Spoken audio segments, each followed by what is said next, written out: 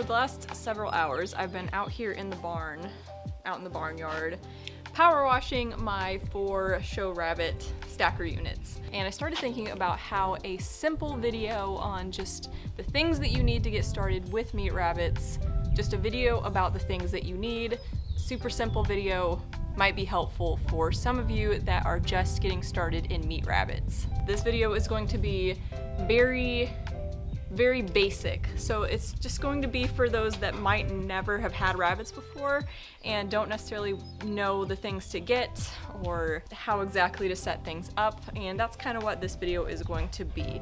So for some of you that are more experienced, you might find this video a little bit boring or repetitive, but for others, I'm hoping that it helps you get started.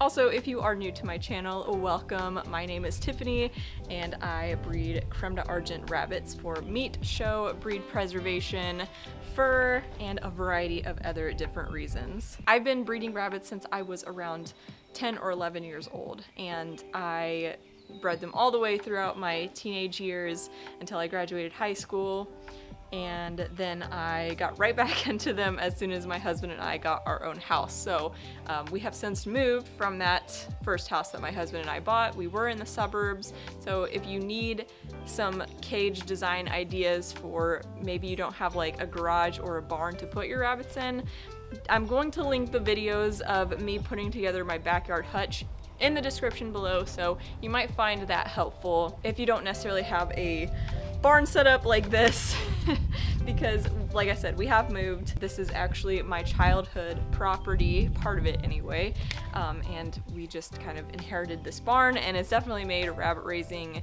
so much easier because we actually have an enclosed structure for the rabbits to be in. So it's definitely easier to have them in a barn, but it's also a very feasible option to just have them in backyard hutches because that's what I did for several years before we moved here. So first things first, you are going to need cages. And for the sake of this video, I am not going to be talking about smaller breeds or breeds with special needs like Angoras or anything like that. I'm literally just going to be talking about your standard meat rabbit breeds. And I'm gonna put a list up on the screen of all of the breeds that I feel like make good meat rabbits. And I'm going to exclude the Angoras on this list just because I don't think that they would be a good beginner meat rabbit. Most of your meat rabbit breeds are around 8 to 12 pounds. Any variation of that really. Those meat type rabbits do very well in cage spaces that are around 30 by 30 inches, 30 by 36, 24 by 36. Those are all your standard sized cages for housing just a single rabbit. And yes, you do want to make sure that you only put one rabbit per cage. There are very few exceptions to the more than one rabbit per cage situation. Siblings sometimes work out a little bit longer but for the most part, once your rabbits reach adulthood especially, you want them to be in their own cage. Rabbits can get very territorial when they're in a cage system, um, and for the sake of this video, we are going to be talking about cage systems. I'm not going to be talking about colonies. I have nothing against colonies, but we are going to be just talking about cage systems. I prefer the all wire cage. And like I said, those cage dimensions that I mentioned before, I'm talking about the all wire cage. So all of these are all wire cages and then I built this wood frame around them. You don't have to build a wood frame if you buy stackers to begin with, but my cages were modular cages. I got them from KW Cages. There are a lot of cage dealers out there, so if you want to find a good cage dealer near you, try to find a show near you. You can go to the ARBA website and find local shows and typically at a show they usually have vendors at the shows and you are able to find cages or supplies that I'm going to be talking about and just all sorts of things. Vendors have all sorts of things. So make sure you go check that out if you are looking for cage systems or supplies. There's lots of stacker designs that are actually all wire. So Instead of having a wood frame like this, you can actually get all wire stackers, which are nice, but I do like the option of being able to remove the cages as well. The way that I've built this stacker unit, and I do have a video all about how I made these stacker units, um, but the way I built it, the cages are removable if I need to take them out, but when I just power wash them, I actually just roll them around and I'm able to power wash them just by rolling them out of the barn and then power washing them, and then rolling them back in. So definitely go check out that video on how I made these cage frames if you want something similar. So like I said, when you are getting into your meat rabbits, you want to house all of your rabbits separately.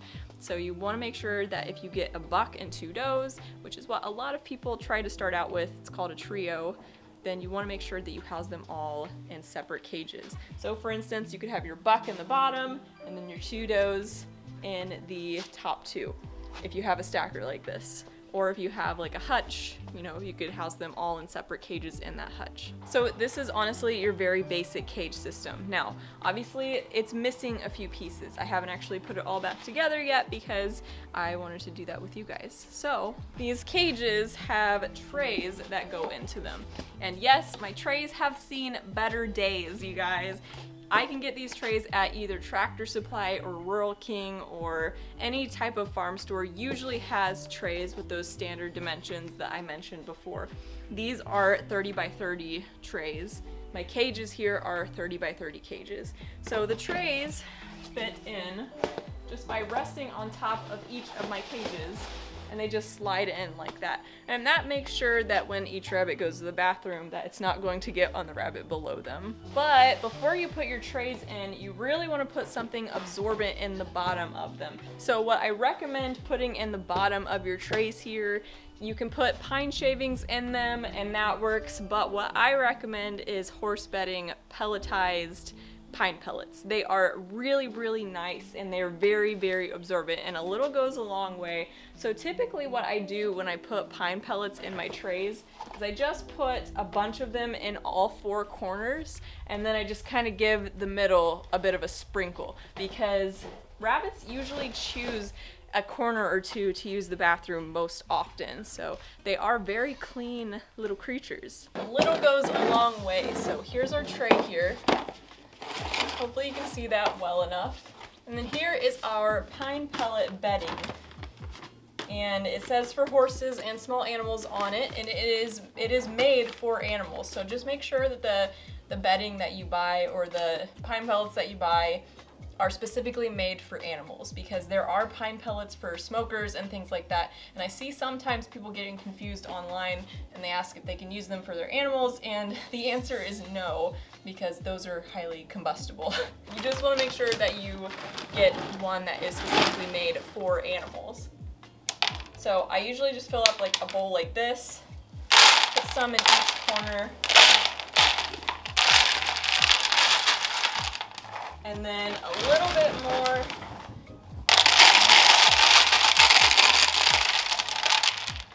And honestly, that's all the pine pellets that I put in my trays. And I only have to empty my trays every three to four weeks maybe. So I'm gonna go ahead and put the rest of the pine pellets in my other two trays and we're going to continue talking about our setup for our beginner meat rabbit setup.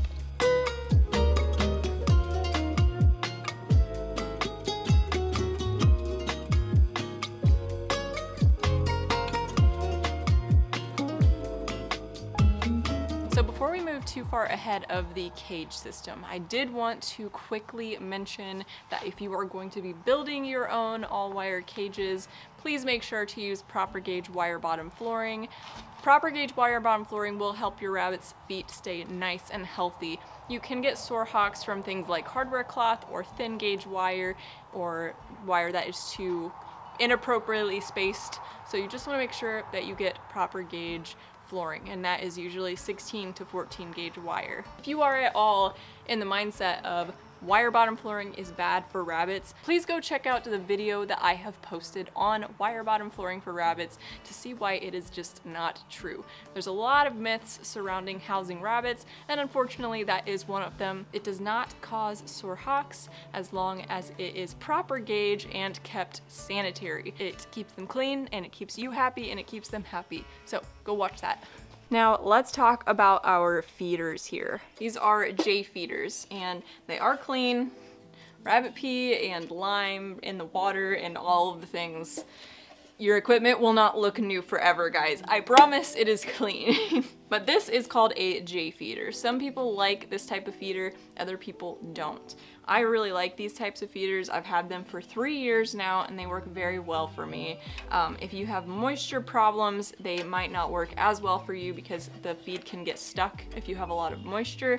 Um, as long as you keep them out of the rain and dry, they should work for you. J feeders are really cool because you can attach these to the cage and then they clip on with their little handles here. And then when they're on the side of the cage, which you can see with this one, you can just open it up, fill it with feed, and it, the feed goes into the cage. So it's pretty hands-off and it's very nice when you have a rabbitry like mine. I do have several cages. I've got 20 here in the barn, so I do spend time with each and every rabbit, but when I'm feeding, I don't always want to do that. So it's very nice when I can just open the feeder and feed my rabbits, make sure they have food, and yeah, it's really nice. These do have mesh on the back of them as well. You can see that. This is for sifting the feed. Sometimes when you buy pellets, they can have they can be a little bit dusty and what that dust is called is fines. So the fines get sifted through the grate right there so your rabbits only get clean pellets free of the fines, they're not inhaling any dust or anything like that, um, and it makes for cleaner feed and happier rabbits. They make several different varieties of these. I got these specific ones at Tractor Supply and like I said they've held up for about three years now and I don't think that I'm going to be replacing them anytime soon. Before I had the J feeders I did use locking coop cups and I liked those as well but they do need cleaned a lot more because they don't have this on the bottom of them so the fines kind of cake up after a while and then you really have to just wash all of the coop cups which it's not a big deal for some people. Um, I like cleaning rabbit things but when I had this many cages then I was just like these didn't look so bad to me Any type of bowl for a feeder will work. Just know that if you don't have anything to sift the fines out, you might have to be cleaning a little bit more often. So that's just my two cents on feeders. Honestly, it's personal preference though. Just as long as you're feeding your rabbits, that's all that really matters. So while we're on the subject of feed, let's see what a good quality feed looks like. These are my rabbits wondering why they have not been put back in their stacker unit yet. They have been waiting very patiently, but they will go back very soon. My feed is your standard pelleted feed, so it looks like this. Most feeds that are made for rabbits that are for meat, or commercial rabbits, or show rabbits for that matter, um, most of the feeds are alfalfa based. So you wanna make sure that your feed is a complete feed. You wanna make sure on the bag it says complete rabbit feed. And that's exactly what it is. It's nutritionally balanced to meet the needs of the rabbit. So you don't technically have to add anything to it. It's all balanced, you're good to go. They just need their daily ration of pellets. And I usually give my creme d'argents here around a cup of pellets a day per adult rabbit. Now for does that are pregnant or nursing or juniors that are growing out, they get unlimited feed here because I feel it is very important for those pregnant or nursing does to get as much nutrition as they can. Um, also for my rabbits to grow properly. We like to see five pounds by 12 weeks old for processing then we always want to feed unlimited to the juniors so they grow as fast as possible. The best pellets that you can give your rabbits are pellets that are freshly milled. I'm not really brand loyal. I do get the same brand every time I go pick up feed, but it's not really because I'm brand loyal. It's because the mill is right here in Indiana and I know that I get it fresh. So the freshest feed that you can find is the best feed that you can find as long as it's a complete rabbit pellet that is the best that you can get. So just search around your state, search around your area, and see if you can find a pellet that is milled near you, within a couple of hours of you, and that you can get it very fresh. Beyond three to six months old, pellets really start to lose their nutritional value, and you don't really want to use pellets that are older than that. They're just not gonna do it for your rabbits, and you're gonna notice a lack of condition in your rabbits, so just wanna make sure that is fresh. Most rabbit feeds are around 16 to 18% protein. Mine here is 17%, just because I love to be in the middle And then a lot of pellets have between 20 to 23 or higher um, percentage of fiber. And fiber is very, very important for rabbits. You can never give your rabbit too much fiber, which is why that I am in the mindset, as long as we were talking about feed, I believe that you should give your rabbits hay. As we were talking about hay, got my trusty broken Menards bucket here. Like I said, I think that hay is important. There's a lot of breeders out there that are very adamant in the fact that hay is not necessary here is the thing. It's not necessary. If you're feeding a complete pellet, your rabbits are gonna live if you just feed the pellet. They're not gonna die. But my argument for this whole issue is, do I just want my rabbits to live or do I want them to thrive? And my answer to that is I want them to thrive. There have actually been studies done saying that if you don't give your rabbits hay and they don't have those bigger fiber particles to digest that go into the intestine, their intestines actually start to weaken. So they don't have these big pieces of fiber to digest. This really helps their intestines to keep moving regularly. It's just like if you or I were to eat whole wheat or more fiber in our diet, it really helps to keep us regular, which is very important for our growing junior rabbits especially. You can never give junior rabbits too much fiber. It's so good for them. And when we're talking about types of hay, Types of hay are very important as well. So you have your Timothy hay, you have your alfalfa hay, you have your orchard grass hay, your oat hay.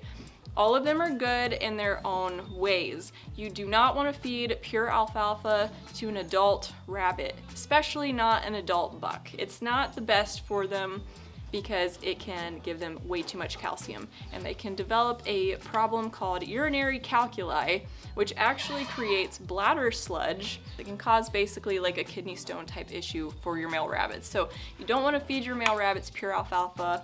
Um, it's probably just not a good idea to do so. Now a little bit of alfalfa in the hay is not going to hurt them. As long as it's like under 50%, I think that you'd be fine.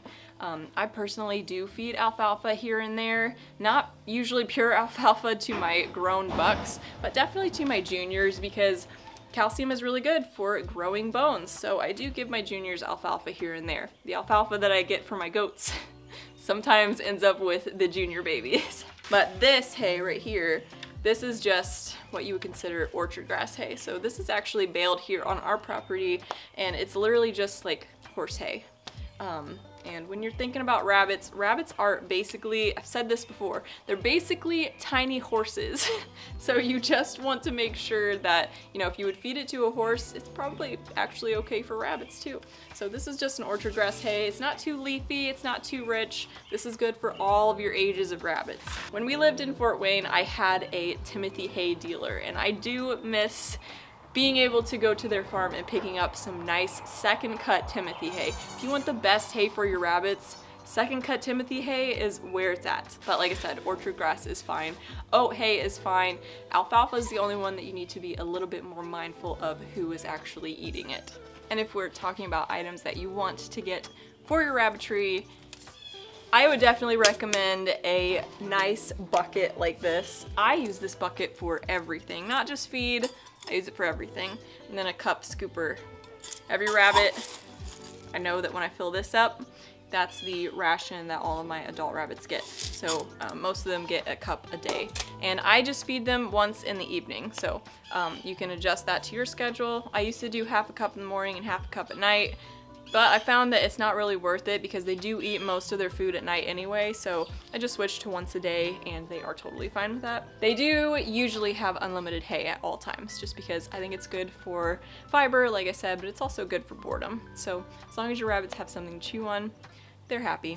These are my all-wire hay feeders, and they are not fancy. They're just from a local cage dealer, and they're just bent wire. They're actually extremely easy to make if you want to. Um, I just didn't have this particular type of wire when I wanted them, so I just figured it was easy to buy them. So these are my hay feeders. And rabbits, they do waste hay. They waste hay here and there. You can try to mitigate it. Um, I've tried putting hardware cloth on the back of this. Um, as long as they can still get to their hay, um, they'll waste a little bit of it, but that's normal. Why is it that all animals that need hay or like hay waste it? Why is that? They are so picky, you guys. now we're going back to the basics. So this is a water bowl that I have. These are really cool. They have locking tabs on the bottom that are made to twist on half inch by one inch wire, which is very, very useful because rabbits love to lift things and throw them around. So these are really nice because they're not able to do that. Um, I definitely recommend these. The only downside to these is that you, if you live in a really cold climate like we do in the winter, they do have a tendency to freeze solid and bust. So that is something to keep in mind. In the winter, I usually just don't fill them all the way up, and that definitely does help. I actually only had one casualty this last winter because I was trying to be mindful about how full I was filling them and the temperatures and all of that. So that is just the only thing to keep in mind. I do have backup rubber bowls in case that does happen. Um, but they love to flip those rubber bowls. And gosh, I wish they would just understand that they need their water. Um, I do like to keep them very clean. The, as you can see, I, these are not new items. I wish that they were new items. I wish that I could just get all new items every year, but that is not real life. So the way that these work, and I will put you guys in the cage so you can see how exactly they screw down. I'm not 100% sure if you're gonna be able to see this, but like I said, there are tabs on the bottom and then our half inch by one inch wire, and then they just twist on, and then they can't lift them up so it's definitely very, very nice. And then of course, I'm not trying to be condescending. All living things need fresh, clean water at all times. You can add apple cider vinegar to their water, you can do fancy stuff to their water, but in the end, they just need fresh, clean water. That's the most important thing.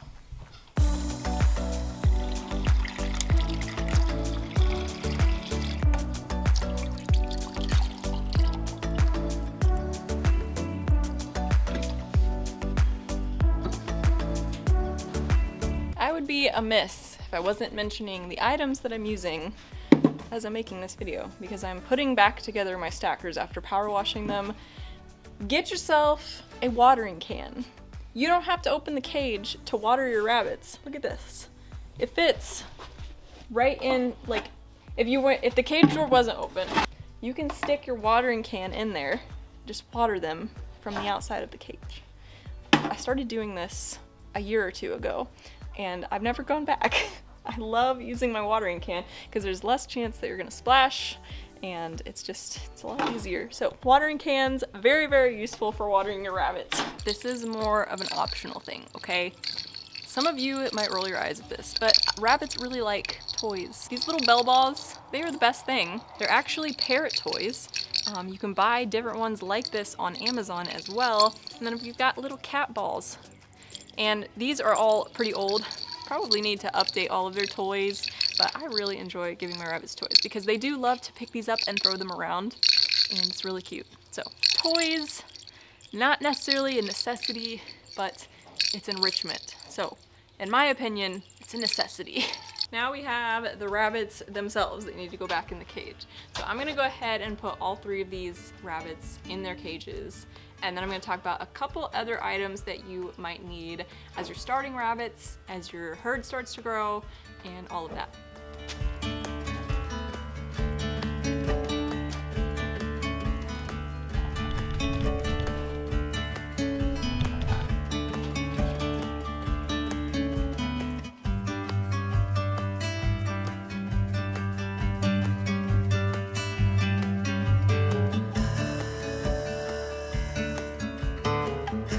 Now that our rabbits are put back into their stacker, I went ahead and rolled it back to the back of the barn. I promise it's not as dark back there as it looks in this video. My camera can only do so much, guys. One thing that you might want to consider when you have meat rabbits is getting yourself a scale. Now this is my Winco scale. Any type of scale will work, honestly. People like to use baby scales, people will use scales like this, people use digital scales. I used to use a digital scale with like a baking dish on top of it. But if you're really gonna be getting into rabbits, I do recommend a nice analog scale like this. I really do like this scale a lot. It's called a Winco and actually the top of it is a homemade basket that I made. These scales are just great if you want to track your weights, if you want to weigh your meat, if you just a bunch, you'll find different uses for it all the time. I always use this thing. So a scale might be something to look into if you are getting into rabbits. And if you are going to be breeding rabbits, it means you are going to be having baby rabbits. So you are going to need a nest box. There are lots of different nest box designs out there, you guys. I like to make my own nest boxes out of wood. They are super cheap. I actually just made a video and a blog post about how to make your own wooden nest box and I laid it out very, very simply for you guys. So make sure to go check that video out. I will link it below and up there. And yeah, my nest boxes are all wood and they have a fourth inch by fourth inch hardware cloth on the bottom. I've had many, many successful litters in these nest boxes, you guys. So if you are going to be having baby bunnies, you're gonna wanna have a nest box prepared prior to them arriving. So this is something that is very important in a meat rabbit program. Another thing that you might want to consider investing in is a carrying cage. Now I have a lot of carrying cages. You can see them all up there. Carrying cages are great even if you're not showing, they are great if you are selling a rabbit and you need to transport the rabbit. Um, they have wire bottom flooring, so it keeps your rabbits out of their mess at all times. These carrying cages that I have are from a local cage dealer, so I can't necessarily point you in the direction of where to get them. The compartments open individually, so they're really, really nice. And then I also have some coop cups in there, which you can see. The coop cups just attach onto the side of the carrier on the inside and they allow you to feed and your water your rabbit on the go. So they're really, really nice. Definitely recommend getting a carrying cage if you are going to be transporting rabbits in any situation. One of the things that I'm not going to be touching on in this video, you guys, is med supplies. I might do an entirely different video on that because there's lots of different things that I recommend people to have on hand for their rabbits and I don't feel like it's appropriate for maybe this beginner rabbit video, but if that is something that you would like to see, make sure to comment below and let me know because I have a lot of a lot of opinions and a lot of different med supplies in my rabbitry um, and I'd love to share what I do with all of it, but not in this video. I have been talking a lot about my grow out hutches. These are one of the best things that has ever happened to my rabbitry. And I say that with full sincerity, you guys. I love, love them. One of the reasons why you want a grow out hutch is because when you have a litter of eight or 10, which some of these meat rabbits are very prone to have large litters. I know for me, it's very common to have a litter of eight to 10. And so when you have these large litters, you don't always want them to stay in those smaller cages for long periods of time. Like when your rabbits are around like five weeks old, five to six weeks old, they're starting to get extremely cramped in a cage that is 30 by 30 or 30 by 36 you need to be able to have a larger space for your babies to grow out. So these grow out hutches are seven feet long by 30 inches wide. I have little handles on the front of them. They open like this and we have these tabs here, little kickstand if you will, that holds the lid up. I'm able to do all of my chores. Believe it or not, there are 14 rabbits in this grow out hutch. I don't think that you can see what I'm talking about, but they are all hiding in the den area. but there's a bunch of them in there. But that's the point though, is that they have so much room that they're not cramped and they are very comfortable and I can grow them out for longer periods of time, which was the whole goal.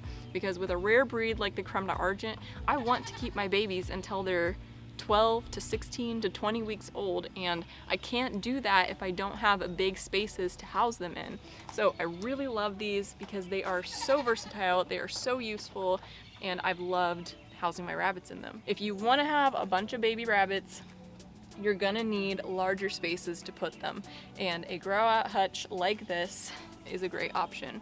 So like I said, I will link the plans below. You can also do multiple different types of things. You can do multiple cages, you can do rabbit tractors, you can do all of that. But I love this and I will scream it from the rooftops. These grow-out hutches are the best thing that I have done for my rabbitry in a really long time. I need you guys to know that I am a purist Creme d'Argent breeder, but I also have these cute little mongrel babies that are half Netherland Dwarf, half Creme d'Argent because I've been wanting to create something like this for a really long time. They are so cute. Look at them. They're like nine weeks old. They're so little. so you guys, I hope that this video is helpful to you. If you are just getting started in meat rabbits and you're just needing to know what is the basic, simple setup, what are the tips that I need to know as I'm getting started with all of the things that I need or you know, all of that. I hope that this video really helped you in planning that out. And like I said, if you don't have a barn or, you know, something that you can have like a stacker cage system in, I do have videos of how I made like my outdoor hutch when we lived in the suburbs. And I also show in my past videos how I put my rabbits in my garage at one point. So there are lots of, lots of different options for housing rabbits. They're not just one option. There are a million different ways to do things with rabbits. This is just kind of a beginner's guide on the things that you need, just very basic. So I hope that you enjoyed this video and I hope that you'll continue watching and with that I will see you in my next video. Bye guys!